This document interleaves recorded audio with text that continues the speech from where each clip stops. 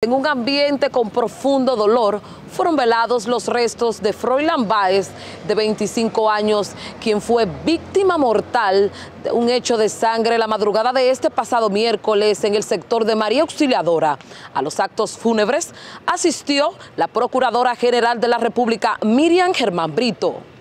Germán informó a Noticias Su Mundo que era amiga cercana a la familia del joven fallecido y se observó afectada emocionalmente por la trágica situación. No nos permite. esa persona yo la conocía desde niño, fuimos vecinos muchos años y no es el momento de... Los padres de Florian se rehusaron a hablar con la prensa debido a la pérdida que viven tras la trágica pérdida de su vástago. En tanto, algunos familiares expresaron que la pena máxima no es suficiente por la muerte violenta. Yo entiendo de que una persona así no, con 30 años, una persona que comete ese hecho con 30 años no lo paga, pero esperemos en Dios que sea la justicia quien se haga cargo y que se mande un mensaje con este caso de que sí hay una justicia, como dicen, independiente en nuestro país.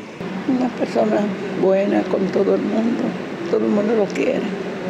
Imagínate, no hay muchas cosas ni que decir porque es algo trágico, mano, está condenado, imagínate. Báez trabajaba como chofer para excursiones turísticas y no tuvo hijos, según informó el hermano del fallecido.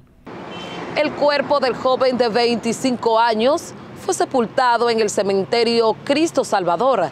En tanto, sus familiares piden que se le aplique todo el peso de la ley a este individuo que le arrebató la vida y su esposa, quien se encuentra en cuidados intensivos en el Hospital Francisco Moscoso Puello se debate entre la vida y la muerte. Con este informe yo concluyo mi reporte y vuelvo con ustedes al set de noticias.